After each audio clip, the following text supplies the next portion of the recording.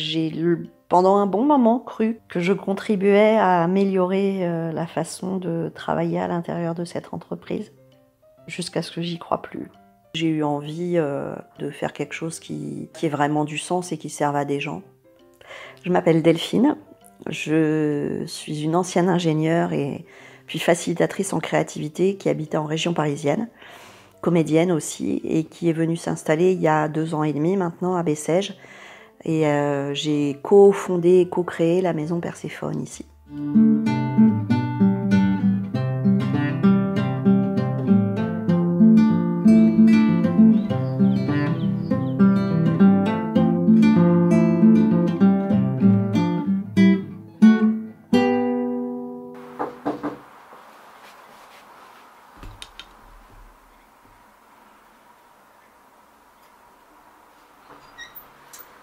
Bonjour, bienvenue à la maison Perséphone.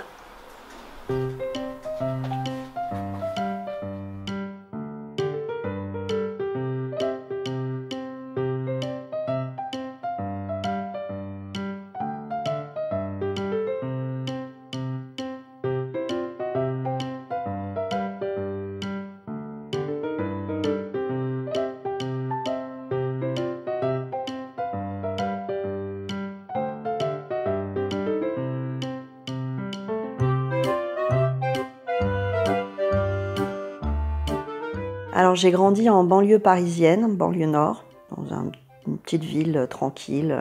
Mes parents sont tous les deux enseignants, enfants d'ouvriers tous les deux, mais tous les deux enseignants en collège et euh, de grands militants euh, de gauche. J'ai commencé à venir en vacances à Bessèges à partir de mes 7 ans et mes parents ont trouvé euh, cette maison qu'on avait, on cohabitait en fait, elle était coupée en deux avec un, un couple de, où le monsieur est un ancien mineur bességeois. Je suis euh, diplômée ingénieure en traitement du signal et de l'image. Euh, mais en fait, mes trois années euh, d'école d'ingénieur, ça a surtout été dédié au théâtre. et c'est là où j'ai commencé à beaucoup, beaucoup jouer et déjà m'occuper de festivals culturels et artistiques.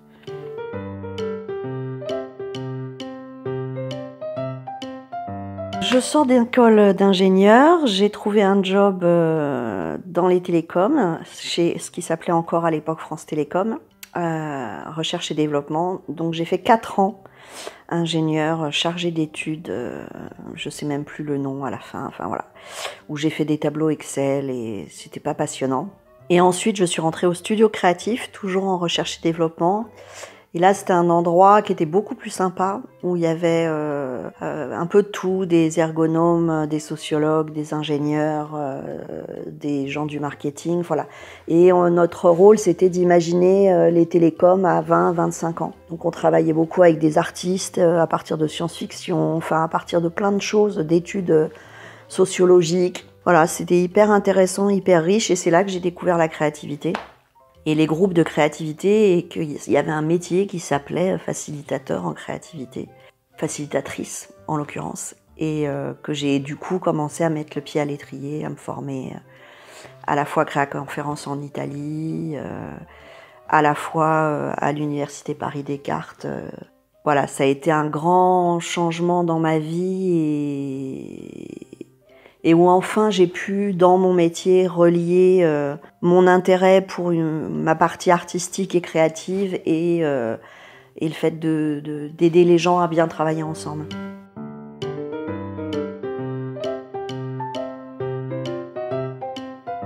Ce n'est pas une conférence, c'est plutôt un endroit où on se forme et où il y a plein d'ateliers expérientiels dans tous les sens autour de la créativité. C'est à Sestri-Levante en Italie. C'est une conférence euh, plutôt européenne, mais il y a des gens qui viennent un peu partout dans le monde. Et moi, la première fois que j'y suis allée, euh, je me suis retrouvée avec un groupe de 20-25 personnes euh, venant de un peu partout dans le monde, parlant plein de langues.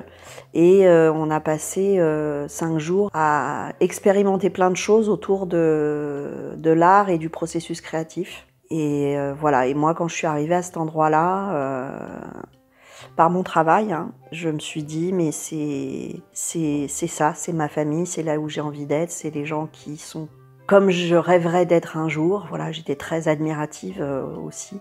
Et très vite aussi, au bout de, je sais pas, 3-4 ans, j'ai basculé du côté des formateurs facilitateurs. Et voilà, aider à cette conférence à continuer à vivre et à permettre à, à d'autres gens de pouvoir euh, vivre ce que j'avais vécu, quoi.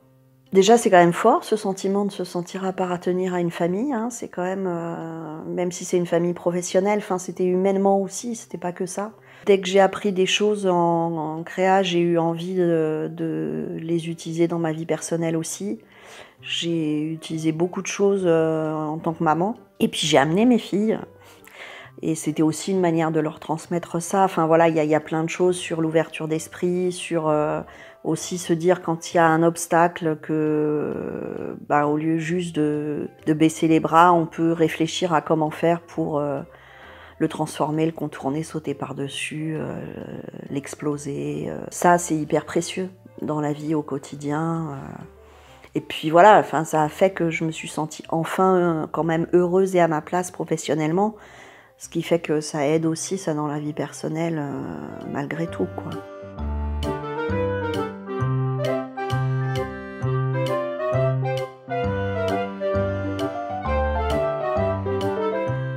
Trois ans, euh, c'était super riche, super intéressant. J'ai continué à, me former, à développer mon expérience, etc. Mais euh, financièrement, il a fallu que je revienne. Et euh, ça, c'était toute la période où il y avait les, histoires des suicides chez Orange. Et du coup, moi, quand je suis revenue, il y avait le nouveau PDG, il y avait une nouvelle entité qui s'était créée, qui était là pour, pour changer la façon de manager et faire en sorte justement qu'il n'y ait plus ces problèmes de suicide, etc., etc. Et du coup, moi, ça m'a parlé tout de suite parce que très vite, moi, la créativité, c'était pas juste pour trouver des idées. Ce qui me plaisait, c'était le côté aider les gens à travailler ensemble dans le plaisir. Et du coup, euh, je me suis dit, mais en fait, euh, ça va peut-être être, l'occasion de, servir vraiment à quelque chose, quoi, de pouvoir changer les choses de l'intérieur, euh, puisque c'était la formation des managers. J'ai pendant un bon moment cru que, que je contribuais à améliorer la façon de travailler à l'intérieur de cette entreprise, jusqu'à ce que j'y crois plus.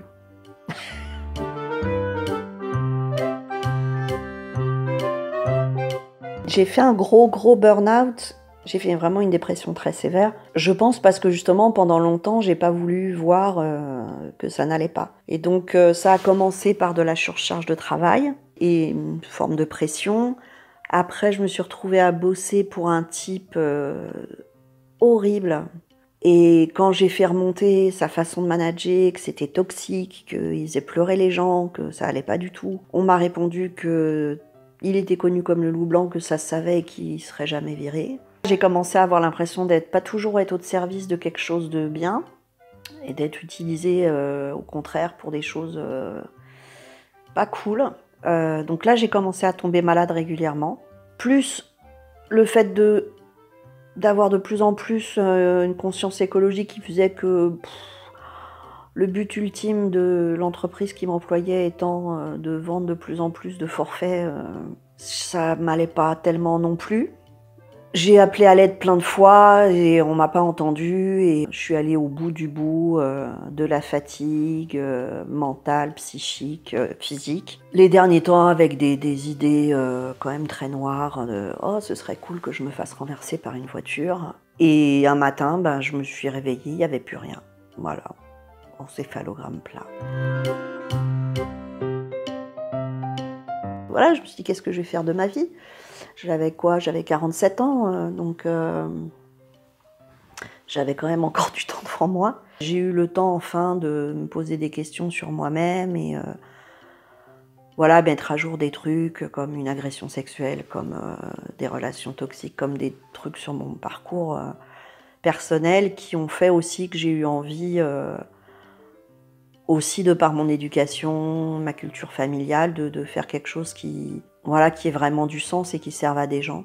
J'avais toujours eu, euh, de manière assez récurrente, euh, un, rêve de lieu qui aurait tourné autour de l'artistique et, et du lien social, on va dire, de la rencontre des gens entre eux et avec les gens. Et du coup, c'est là que j'ai commencé à gamberger petit à petit, à, à, imaginer, réfléchir à ce que pouvait être concrètement ce lieu, avec aussi toute mon histoire et tout mon parcours, avec cet a priori que pratiquer un des arts ou être au contact du, beau et, de, cultures différentes, ça faisait du bien. Puisque moi, dans mon parcours, c'est quelque chose qui m'a toujours fait du bien. Le théâtre m'a sauvé pendant un long moment. Euh, euh, la fascination créativité m'a apporté plein de choses dans ma vie. Donc je me suis dit, ben voilà, un lieu qui propose ça et qui permet aux gens de se rencontrer autour de ça, ça peut être chouette.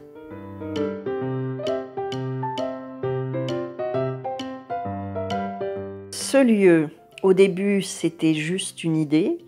Euh, c'était un rêve, c'était très flou.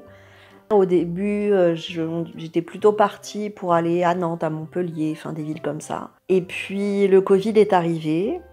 Et puis on s'est retrouvé à Bessèges. Ça faisait huit ans que j'étais pas venue. Et en fait, on s'est dit que ça pouvait être là. Et puis moi, j'ai un attachement à Bessèges euh, et aux Cévennes affectif énorme.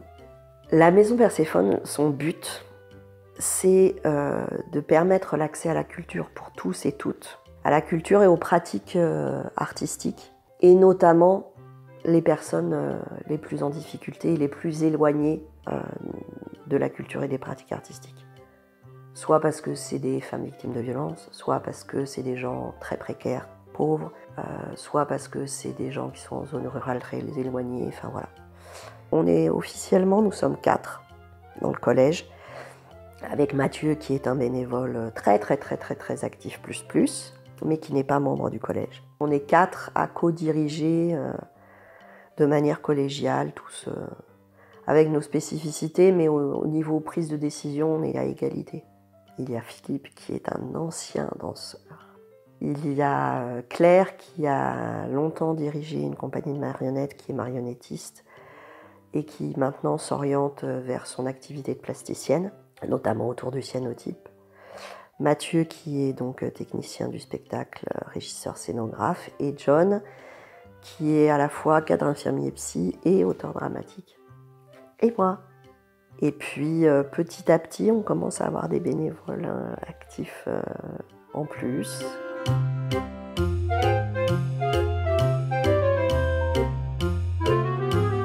Donc il y a les dimanches au jardin, qui est la partie la plus visible pour les gens. Euh, c'est une programmation de spectacles avec des ateliers aussi dans le jardin potager, une fois par mois, le troisième dimanche du mois, de pour l'instant avril à septembre, mais de mai à septembre dans les années à venir. Il y a euh, l'atelier théâtre intergénérationnel euh, avec le CCAS de Robiac. Il y a le potager intergénérationnel au jardin euh, en partenariat avec le contrat local d'aide à la scolarité du Centre social et culturel de Molière sur 16. Les résidences d'artistes. Bon, ça c'est assez classique. La lorgnette citoyenne des arts, qui est un projet euh, de euh, reportage par les citoyens sur des artistes du territoire avec une version vidéo, une version podcast, une version texte, et euh, les séjours de répit. Pour les femmes victimes de violences pour l'instant, même si on a en tête de, de pourquoi pas un jour travailler avec d'autres types de publics.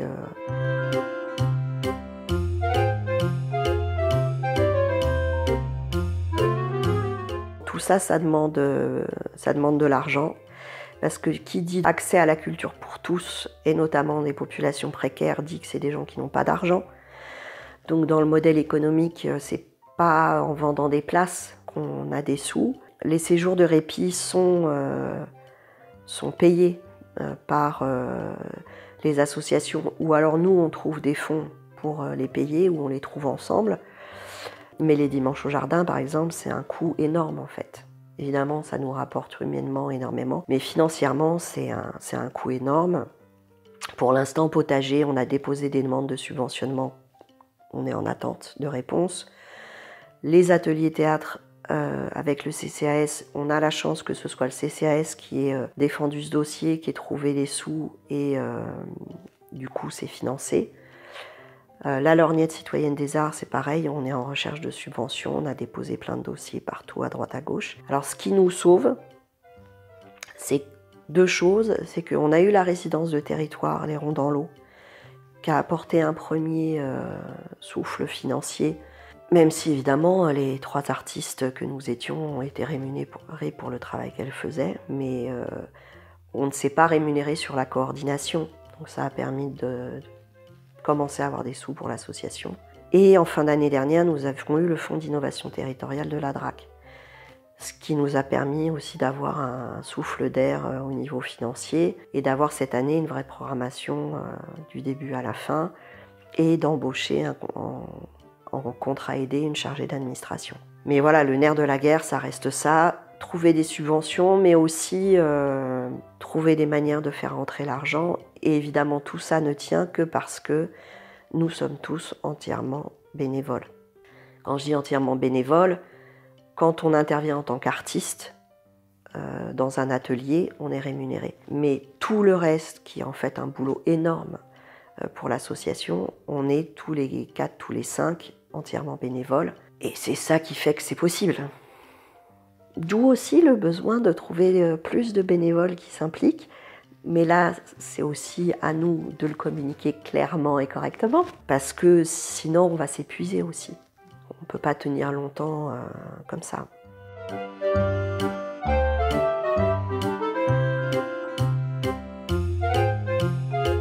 Alors nous ne sommes pas très doués en communication et d'ailleurs s'il y a des gens qui ont envie de s'investir bénévolement sur l'aspect communication, ils sont ils et elles sont les bienvenus parce que pour l'instant globalement c'est Philippe et moi qui nous occupons de ça. Philippe s'occupe du site internet qui s'appelle maisonperséphone.org et donc euh, bah, là il y a toutes les infos. Euh, il y a une lettre d'information qui n'est pas très régulière, mais voilà, quand on est abonné, on a, on a les informations. Il y a une page Facebook et une page Instagram. Alors là, ça c'est moi qui les tiens, donc c'est plus chaotique. On a Radio 16 qui gentiment euh, nous interviewe régulièrement quand il y a un événement qui arrive. Le Midi Libre aussi qui en parle. Et puis on fait beaucoup d'affichage. On a toujours plein de projets en cours c'est un peu un, de nos soucis, c'est qu'il faut qu'on se calme parce que on est, on est tous les quatre à avoir plein d'idées, donc il euh, faut qu'on se restreigne. Donc là, on, est, on essaye vraiment d'être dans une optique où on se consolide et où on ne crée pas trop de choses en plus. Ceci étant, à côté de la maison Perséphone, il y a la compagnie théâtre La Palme, qui est une compagnie qu'on a créée avec John euh, il y a un bon paquet d'années pour justement pouvoir euh, produire sa première pièce. Qu'est-ce qu'on fait? Qui a ensuite permis de créer Le goût du petit orange, la deuxième, et euh, en co-production, co-création avec la compagnie Brouhaha, Tartufferie, qui, tourne en ce moment. Et là, bah, John est sur un projet d'écriture d'une pièce de théâtre sur un homme, son parcours de résilience après le suicide de sa femme. Et moi, j'ai un projet d'écriture pour l'instant, ça s'appelle Corps et moi. Et voilà, et qui va parler Pareil, notion de parcours de résilience, mais plus autour de euh, l'impact des violences sur une femme euh, et ce que ça peut générer, notamment comme difficulté de rapport au corps, les troubles du comportement alimentaire, et comment on peut s'en sortir de tout ça.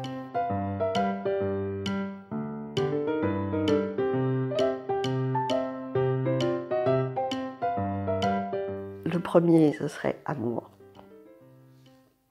au sens où euh, bah, ce qui est essentiel dans ma vie, c'est mes filles, mon chéri, amour au sens amitié aussi, euh, voilà, mes amis, et puis l'amour des gens, globalement. J'aime les êtres humains, l'amour de la nature, enfin voilà. Le deuxième mot, je dirais créativité, art, que ce soit pratiquer ou que ce soit lire, aller au spectacle, voir des expos, enfin, et être en lien avec euh, ma créativité, celle des autres, je pense que euh, j'en ai besoin pour respirer quoi. Le troisième mot, je dirais rencontre. J'aime rencontrer des gens de, de partout et d'ailleurs. Euh, Je trouve que c'est essentiel de rencontrer des gens différents.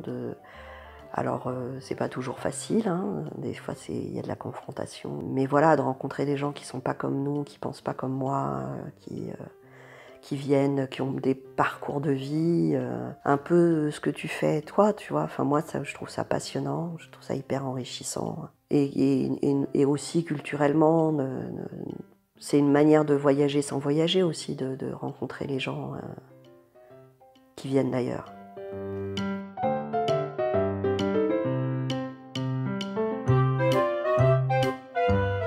Alors, je sais pas pourquoi, mais le premier truc qui me vient en tête, c'est qu'il était temps.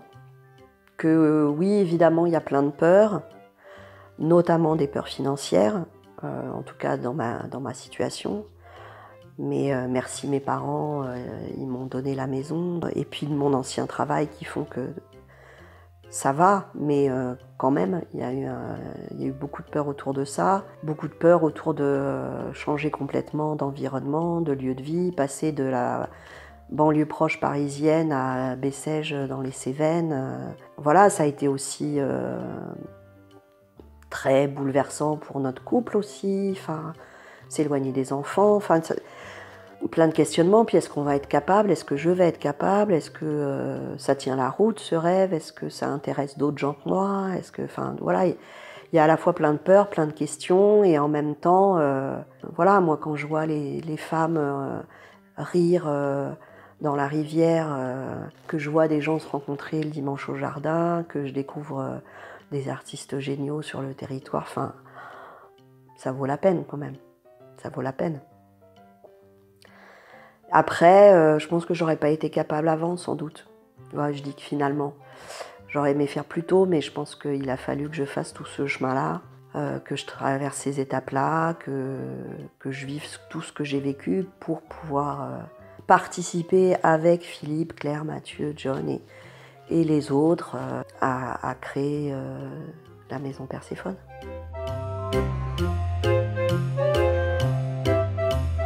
Que je pourrais dire pour des gens qui se posent la question et qui hésitent, en tout cas moi ce qui m'a aidé c'est de m'entourer de gens super chouettes, de d'oser demander de l'aide et ben en fait on en reçoit. Donc euh, faut pas hésiter à se faire soutenir, même juste du soutien moral. Et puis vraiment aussi, euh, je vois finalement la maison Perséphone, j'imaginais un truc avec plein de gens qui se rencontrent et qui font des choses artistiques et qui prennent soin les uns des autres c'était c'est très flou, hein. mais de voilà et de régulièrement se raccrocher à ça, c'est ça que tu veux et puis et puis à l'impact que ça a, même si là c'est à toute petite échelle, c'est euh, c'est peut-être une personne un jour, euh, deux personnes un autre. Euh, il y a peut-être dix personnes sur lesquelles ça a un vrai impact fort en deux trois ans, mais c'est déjà bien.